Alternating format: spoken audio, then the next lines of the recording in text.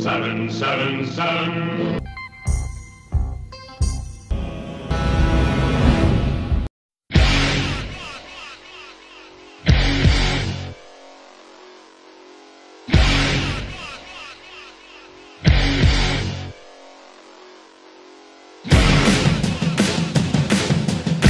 Hi, I'm Holly. And I'm Philip. Great job on signing up to the Prince's Trust online. This is your time to shape your future and use all the tools you can get your. Oh, God, I can't bloody. and recording starts here.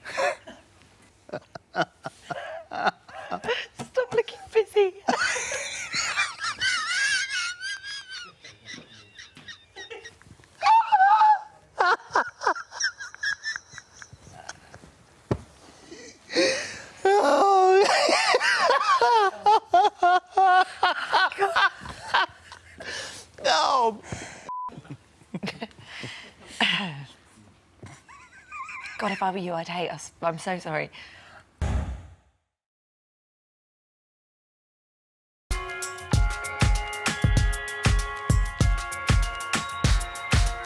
The Prince's Trust is an incredible trust, and I've, I've always admired their work. To be a part of that and have my own foundation was really important for me.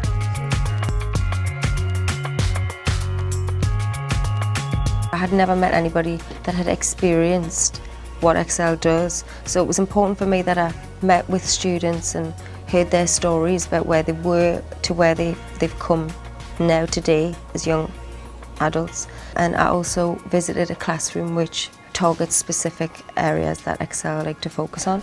I didn't really understand some of the things that I understand now. It makes us look it looks makes us look at people in different ways and understand where they come from and Were you bullied before or I felt like I was picked on quite a while back but come back home and be able to help our youth is an incredible feeling and to do it with the Prince's Trust which focuses on everything I believe in is the best charity for me to be involved with.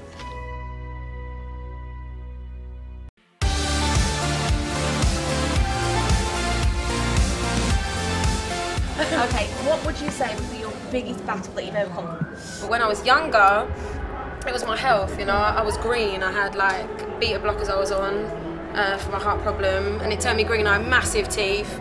I had a fringe that started from back here. Thanks, mum. And uh, yeah, and I was very confident, but I was very free at home, but not at school. I didn't feel supported. You know, my, I never sang. I didn't study music. My teachers didn't support it. You know, they told me it was noise. It wasn't an education. Um, yeah.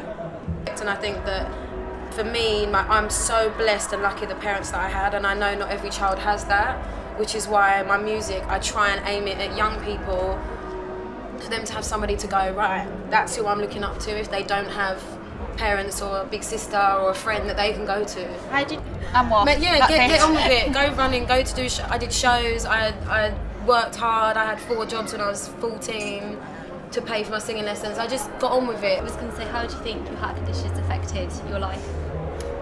not taking it for granted. I feel like um, obviously I'm asked a lot. It's weird. Like in interviews, it will be like, "So you don't take drugs?" and I'm like, "What?" Since when was it like not normal to not take drugs? So I, I, definitely have used the fact that I've I have to I don't drink caffeine. I have, don't have much sugar.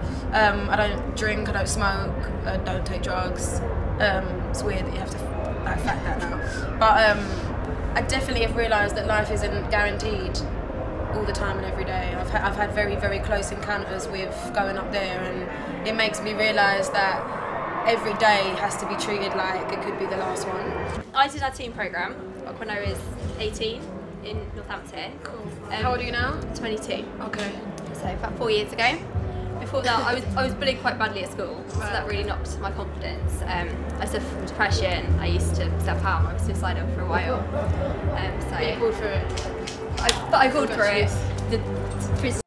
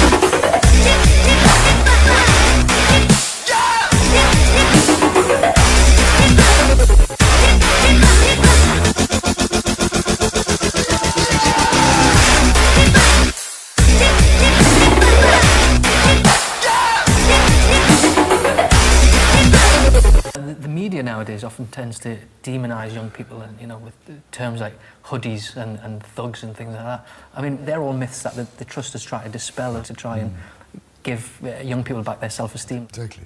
But it, I, I mean, again, it's very easy, isn't it, to, to create stereotypes. I just know that there are a lot of people who appear like that, but underneath it all are actually uncertain and unsure of themselves and perhaps insecure. And as I say, all it needs a lot of the time is to is to provide them with motivation and, and self-esteem. Yeah. Mm. And suddenly they they are transformed. How important